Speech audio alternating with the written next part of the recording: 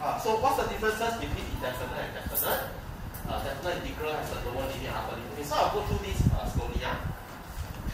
I'll go through this slowly. Yeah? Okay, so have a copy finish?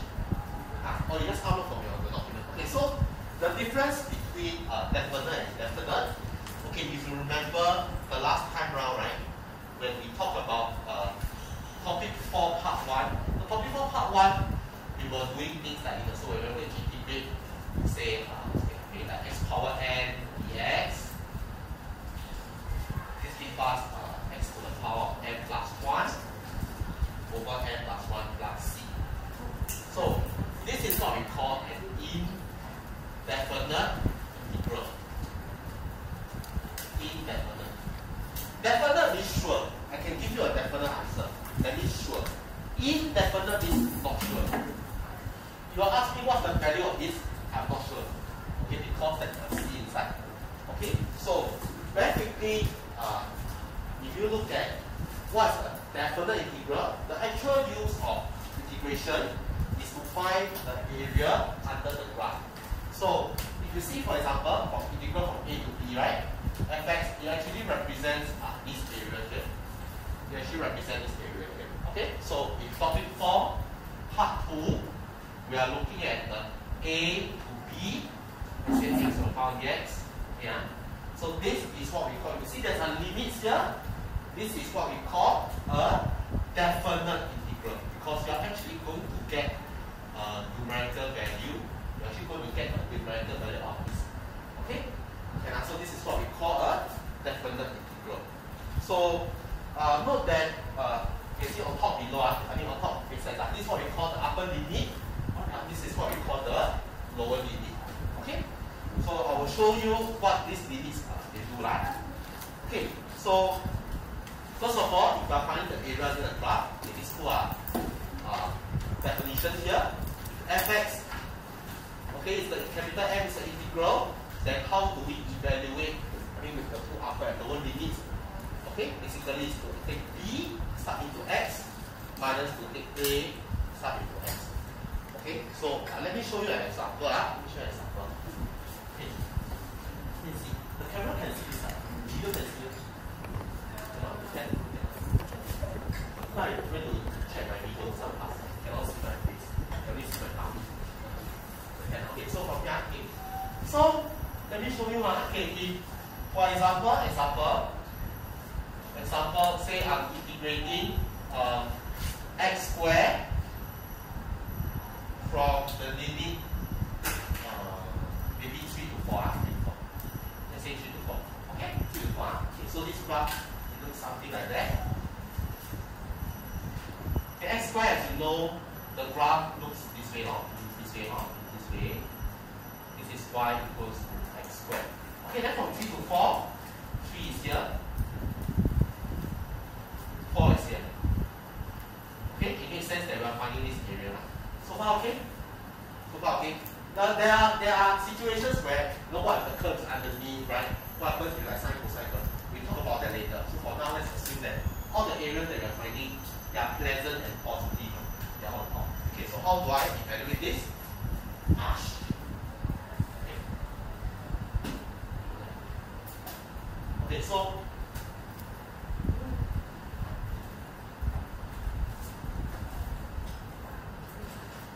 Okay, so the integral okay, uh, from 3 to 4 x squared dx, right? Okay, so very simple. If you see this integral, this is integrate x squared with respect to x. So I do the same. Uh, I integrate. So this is uh, integrate x squared, what I get? Chongqing. Give me a name in the class. A boy, a boy. We shall, uh, we shall integrate x squared against value x over 3 or x over 3 then from 3 to 4 okay so this is how we write it so once you have the 3 and 4 right I'll don't need to plus c don't need to plus I'll explain why I explain why huh? so if you look at this function here huh? Ah, this part is like the fx this part is like the fx this part is like the capital fx okay so how do I evaluate this huh? Ah, you see the 4 here right and the 3 here.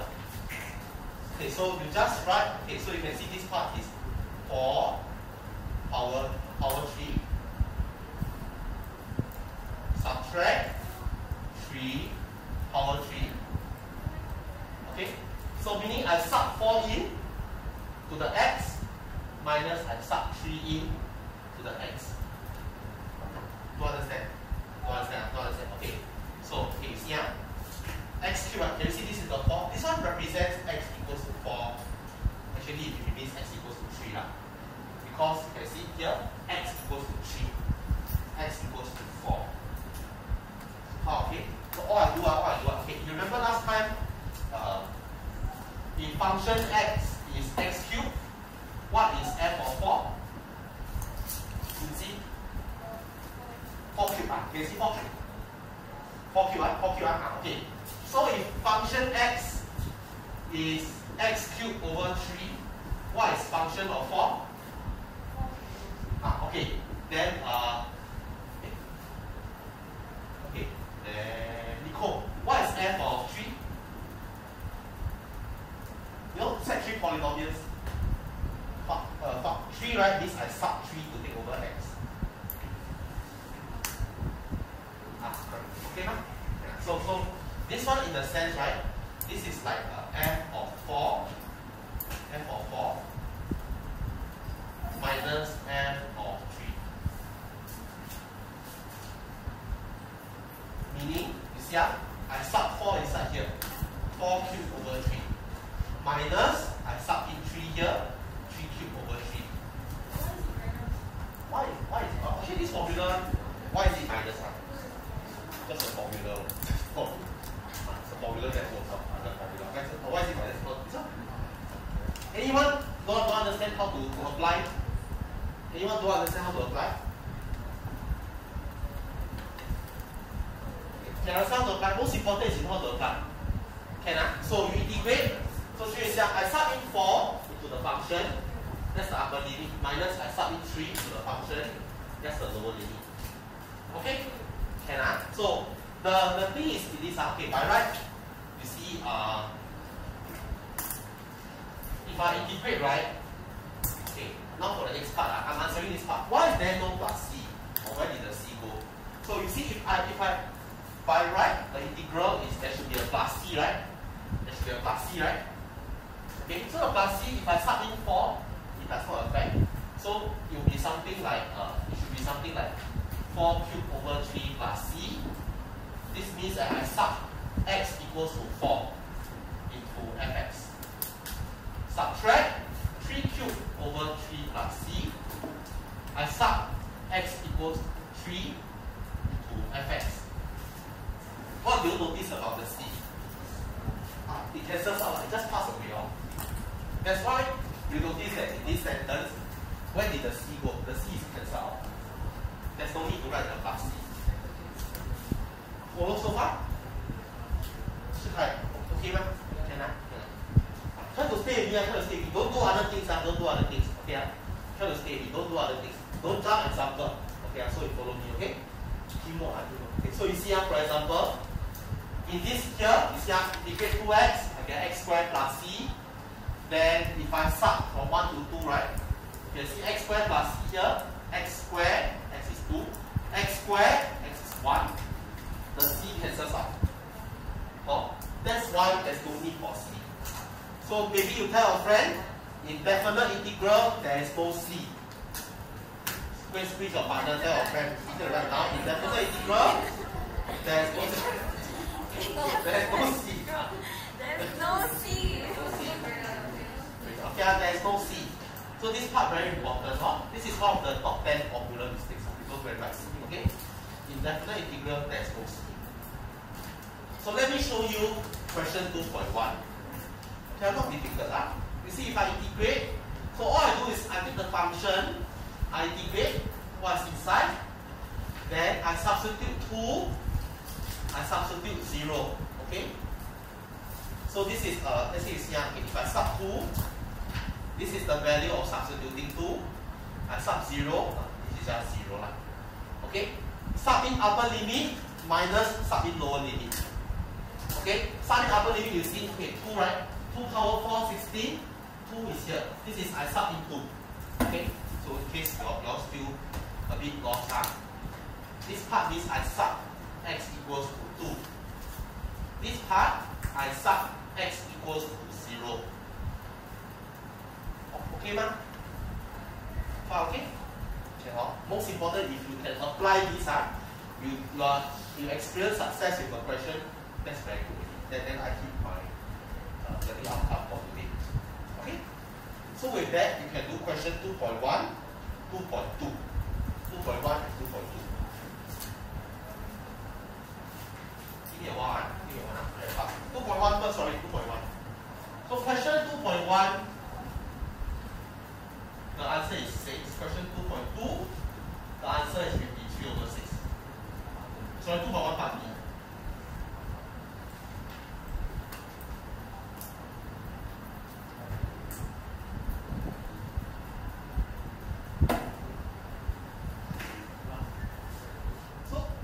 Uh, so, I mean, I, I, I just walk around, so I just pick, pick sensing. Got about three to four people ask this question. Integrate 2 doesn't become 0. Uh. Integrate 2, you get 2x. Is recording? Uh, so integrate 2 is 2x. Integrate 2 because how, okay, the way, the way we, see, because the formula, right? Integrate x to the power of n is x to the power of n plus 1 over n plus 1 plus c, right? So we integrate x to the power of 0. Or when integrate 2, right, it's the same as integrating 2x power 0. Am I right? So x power 0, when I integrate, Get 2x to the power n plus 1 over n plus 1 plus c. So x to the power of 0 plus 1 is x power 1. And this is x power 1 over 1. Okay? Or a reverse way to ask you is this. If I integrate 2 and I ask myself, what's the answer? I can also ask myself the answer backwards. Which function in the world, when we differentiate, we will get 2? 2x. Right? When we differentiate 2x, we will get 2. When we integrate 2, we also get back 2x. Uh, when we differentiate linear, we get constant. When we integrate constant, we get linear.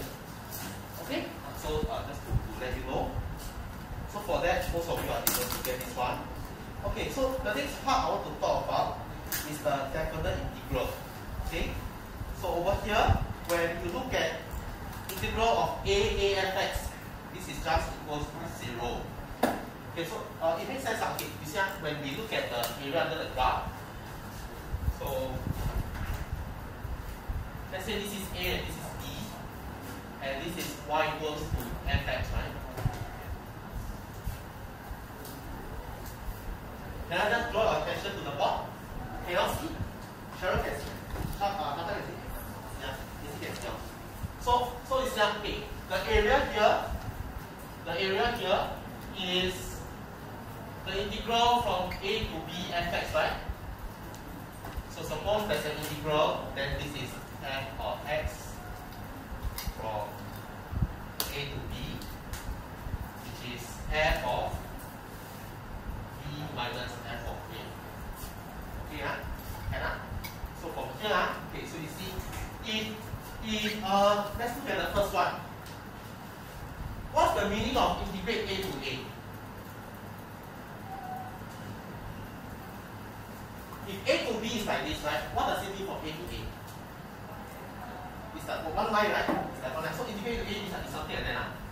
So, so, ah, that are you telling me that it's one line? What's the area of one line? Zero. Zero. So it's zero. Okay? Or if you look at this context, this is as though I'm doing f of A minus f of A, which is uh, also zero. Yeah, still okay. Does it, does it uh, sound logic? So the way to remember this is not to take what I say and then you remember and then 10 minutes later you forget. You try to understand so that it's not what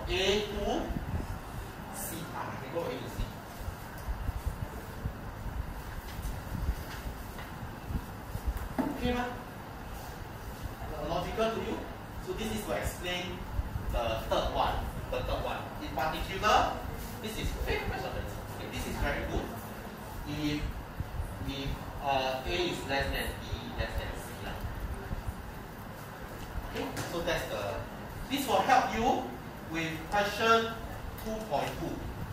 This will help you with question 2.2. Okay? This will help you with question 2.2. So now you can do 2.2. All very common sense once you think in reverse of differentiation. Okay, oh, so when you differentiate sine, you get cosine, right? So makes sense that when you integrate cosine, but you also get back sine? So when I integrate sine, I will get negative cosine. Because when I differentiate cosine, I get negative sine, right? So when I integrate sine, I get negative cosine. Differentiate tangent is secant square, integrate secant square, get back tangent. So far, okay? Very, very logical formulas, huh? very, very logical. You just think about the reverse of differentiation, right? Okay, huh? Just think in reverse of differentiation. Okay? Yeah. So, past example two way. If I can take 154 from here to Clementi, from Clementi I can take 154 come back out to the right? Or 74.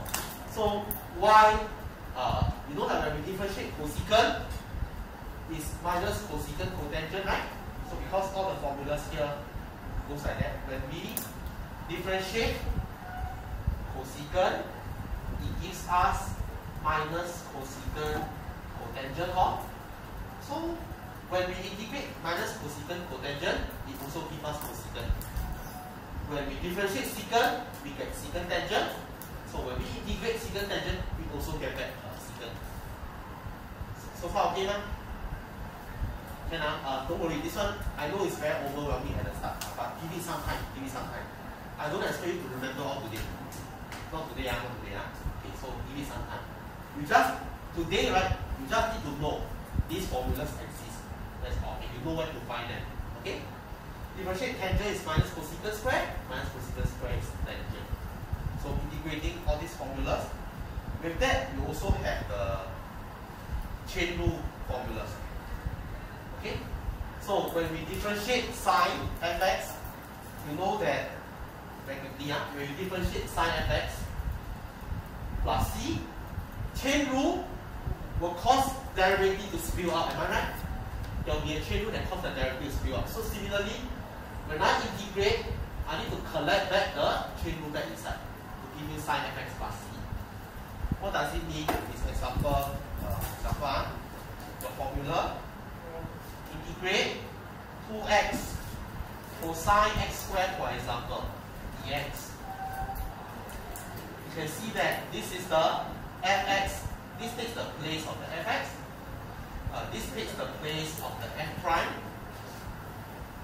This is supposed to give you sine of fx plus c, which is sine of x squared plus c. Okay? Can I? Sine of x squared plus c. So you see, 2x cosine x squared will give you sine of x squared plus c. Comfortable so far? Okay, ah, now we apply the formula. Okay, so same thing. Uh, sine also has its f prime. Secant square also has its f prime. Okay? All the formulas work in reverse. It works in reverse. Cosecant fx, if I differentiate, cosecant cotangent, this is the outside function. Differentiating the inside function gives me the f prime. Differentiating the inside function gives me the f prime. Differentiating the inside function gives me the f prime. So when I integrate, I collect back the f prime, I push it back to the, okay, I shove it back to the cotangent. This is the all the karma of differentiation. Chain rule, right? Have all the f prime appearing. So when I integrate, I must also make sure that the f prime is there, so that I collect it back. Okay, so all the answers here, there's no f prime anymore. There's no f prime anymore. Does it does it connect with you? yeah, if it's okay, then uh, let's look at pressure 3.1. Okay? pressure 3.1. So yeah.